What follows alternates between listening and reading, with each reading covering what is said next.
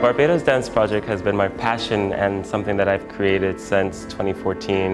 Uh, and I created it because I felt like there was a need for tuition-free training. That was the most important thing for me. What we have been doing in the last five years is creating a space where his friends from around the world come down and engage with the young people in Barbados.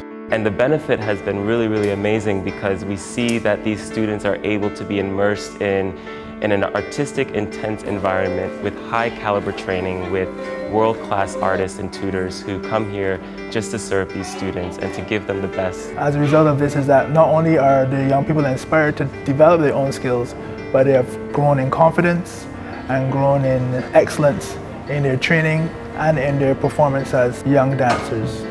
The teachers that have come down are very inspiring. They have spoken to us and told us their struggles and what they've been through, how they managed to get where they are, and it's really inspiring to know that there are people out there who were once like us and seeing them progressing and becoming something beyond us is very uplifting. So it's like telling me that if they can do it, I can do it too. I like that they accept anyone at any level so beginners can come and have a nice experience and it helps to improve your dancing in any area, modern, jazz, ballet, preferably ballet for me, but it's a lovely experience. You're taught a lot in a short space of time.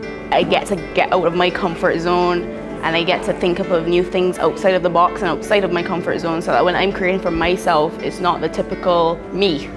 So it was a big undertaking, but I felt it was something that was necessary for me to take on and to see grow here in Barbados. And one day they can also be on world stages or create a world stage right here in Barbados where we can see our young stars grow further.